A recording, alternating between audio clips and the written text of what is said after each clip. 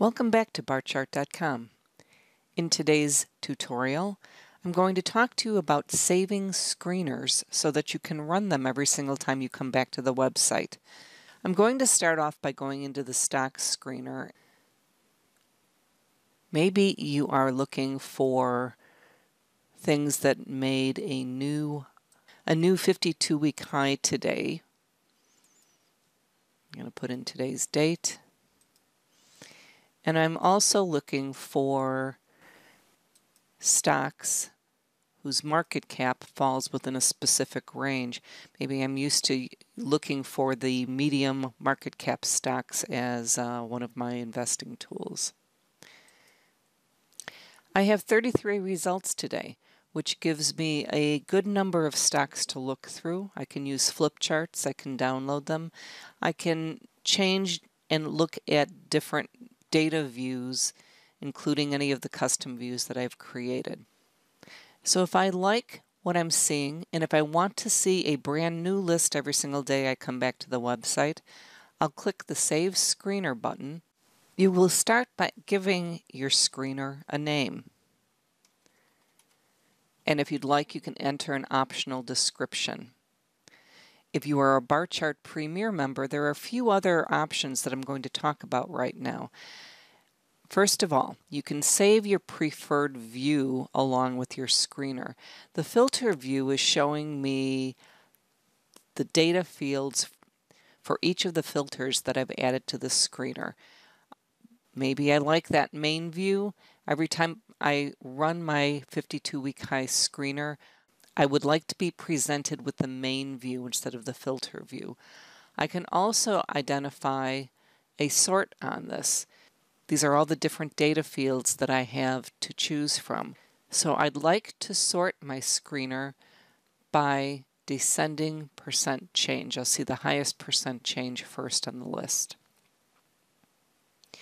Another Barchart Premier feature is that you can automatically get the results of this screener sent to you at the end of each trading day.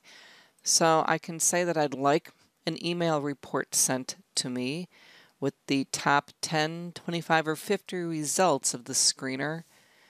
And I can also attach a CSV file uh, and I will get that attached to the email at the end of the day. You'll see that it's saved the screener for me and now I'm looking at my screener 52 week highs. Going to exit the screener and go back into it to simulate what would happen if you were looking at this, let's say, the next day.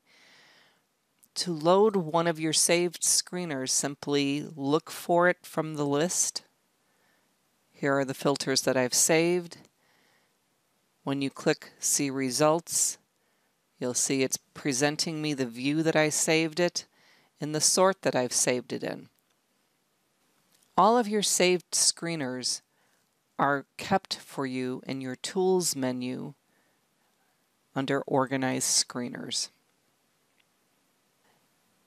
The Organize Screeners page is divided into four different tabs. We have four categories of screeners and you'll find your saved screeners in each of the applicable tabs. Here's the one that I just saved. It is a stocks screener. I've selected to get an end of day email. And I can edit the screener settings to change the screener name, to change the default view that the screener will present me with, and so on. You may also change the order of the screeners as they appear on this page and as they appear in the screener itself. Clicking the red button allows you to completely delete the screener and clicking on the name brings me back to that stock screener. It loads the screener that I've selected, showing me the view and the sort that I've chosen.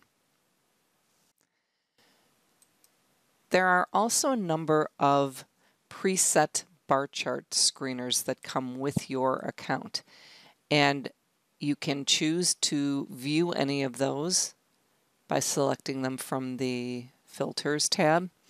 This one happens to have three different filters added to it.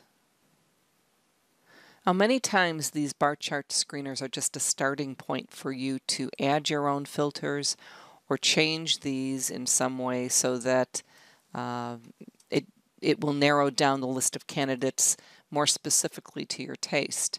And if that's the case, you can always save a Barchart screener, giving it a new name, which then becomes part of your screeners on your account. That concludes this tutorial about saving screeners and using the Barchart screeners.